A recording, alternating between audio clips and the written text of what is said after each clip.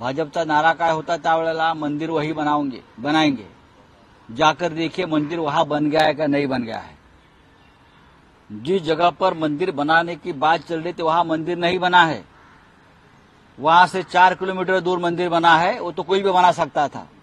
लेकिन हम उस, उसमें भेद नहीं करना चाहते. जहाँ हम मंदिर बनाने की बात कर रहे थे, वहाँ मंदिर नहीं बना है.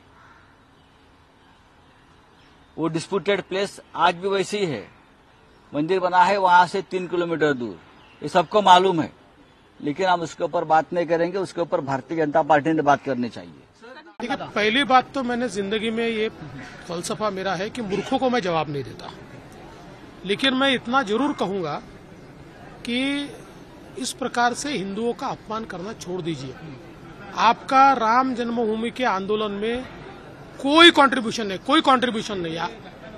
और अब इस प्रकार से बातें करके करोड़ों हिंदुओं की आस्था को ठेस पहुँचाने का काम ये जो उद्धव ठाकरे जी की सेना कर रही है, ये बहुत गलत है।